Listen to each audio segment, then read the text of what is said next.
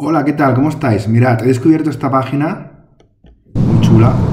Eh, cuidado, cuidado. A ver, esto no es un juego, es como que puedes eh, conducir por carreteras eh, sin fin, ¿vale?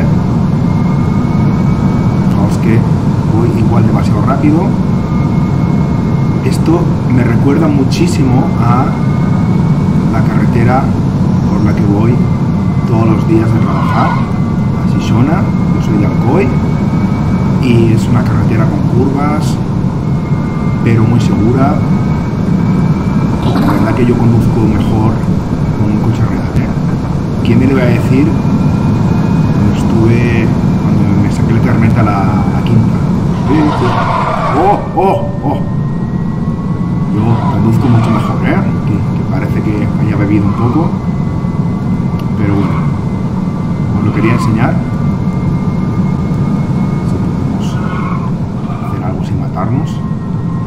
Pues eso, es como... es un generador de, de, de eso, de carretera, digamos.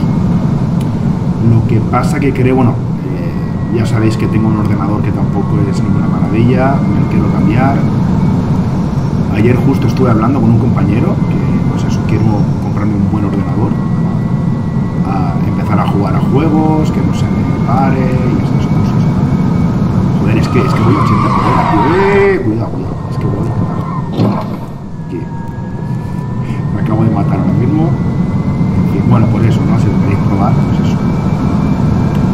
Vuelvo, vuelvo a decirlo, es una sensación muy extraña.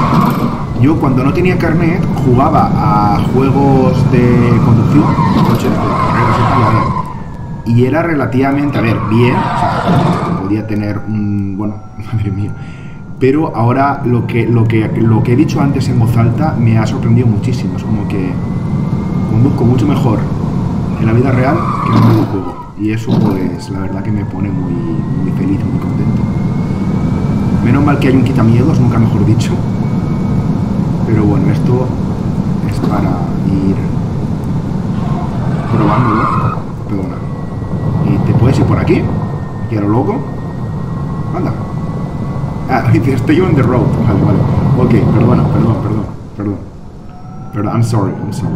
Perdón, perdón. Bueno, pues nada. Os dejo el enlace y también eh, donde lo vi. Eh, lo, vi en, Twitter, en la, cuenta de, una ingeniera que se llama Nao Casanova que pone siempre cosas de estas así uh, frikis, muy chulas. Eh, vale. Estamos vivos, ¿eh? Venga. Hasta luego.